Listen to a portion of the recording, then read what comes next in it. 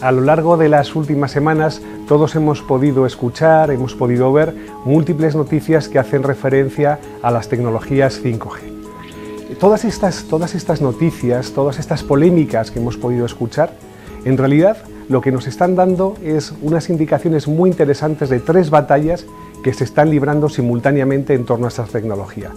A estas batallas, de hecho, las denominamos de esta forma. Las denominamos las tres batallas del 5G. La primera de esas batallas es extremadamente interesante. Se trata de un cambio de paradigma tecnológico. Las antiguas generaciones de telefonía móvil se basaban precisamente en el concepto de telefonía, se basaban precisamente en el concepto de que conectábamos teléfonos con un ser humano detrás.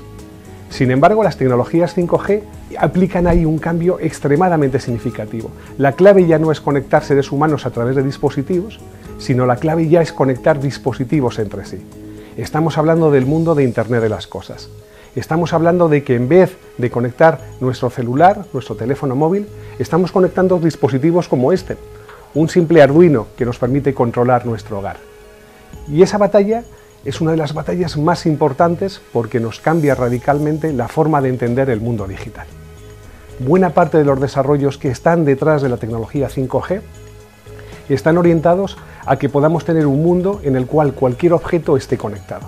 Y eso tiene implicaciones extremadamente interesantes, no solamente en términos de ancho de banda, que ha sido el elemento fundamental en, las batallas anteriores, sino fundamentalmente a aspectos como la latencia, la rapidez de respuesta de la tecnología y el bajo consumo. La segunda batalla tiene que ver con lo que soporta cualquier tipo de tecnología móvil, inalámbrica, es decir, el uso del espectro.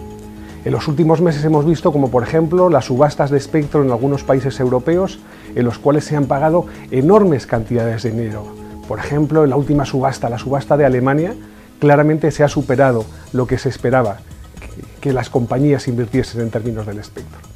Y como no todas las compañías pueden pujar por una parte significativa del espectro, eso nos está dando ya, nos está anunciando el marco competitivo en qué operadoras y qué jugadores van a ser relevantes cuando la tecnología 5G sea universal, sea ubicua.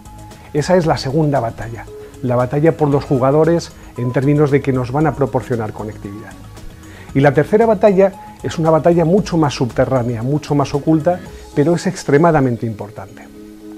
Si viajamos 30 años hacia atrás en el tiempo, Europa ganó la batalla del primer estándar de telefonía móvil. Europa creó el estándar GSM y eso permitió que los jugadores europeos tuviesen una ventaja muy significativa durante casi una década. Sin embargo, en este momento, el estándar 5G es un estándar que se está dilucidando entre múltiples jugadores. Y todos ellos son conscientes de que el desafío estratégico que ello implica es enorme.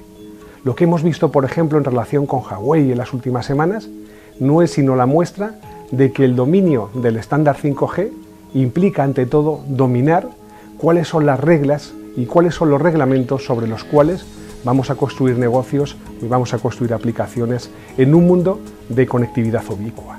Y por eso, esta última batalla, la batalla por el estándar, es tan extraordinariamente importante.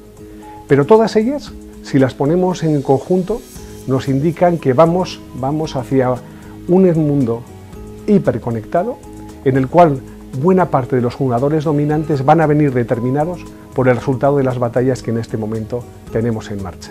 La batalla del espectro, la batalla por el concepto de eh, conectividad ubicua y el mundo de hiperconectado, el mundo de Internet de las Cosas, y quizás la que más aparece en la prensa, pero que es igualmente importante que las anteriores, que es la batalla por el estándar. La batalla entre los grandes bloques geopolíticos que son capaces de generar, definir soportar y sostener un estándar.